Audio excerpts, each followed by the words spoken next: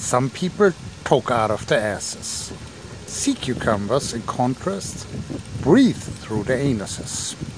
This is a curious spectacle, and I really enjoy recording that when I come across one of these odd sand-eating giants during a scuba dive. Enjoy!